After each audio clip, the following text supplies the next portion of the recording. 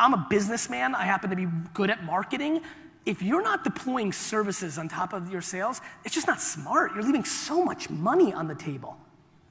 And so, like, first I would do that, and then I would find ways to be in touch with those people as often as possible, and then not just when you're asking them for goddamn money.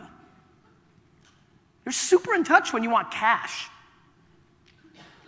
How about when something big in their life happened? How about actually building a relationship? My friends, as we go more Jetsons, the people that act like the Flintstones are gonna win. Your grandparents are more theoretically prepared for social media than you are because they invented the baker's dozen. They invented when you walked into the shop, they started cutting your roast beef because they knew who you were. They invented coming over your house and giving you a cake when your grandmother died. Now you have technology and you can scale that.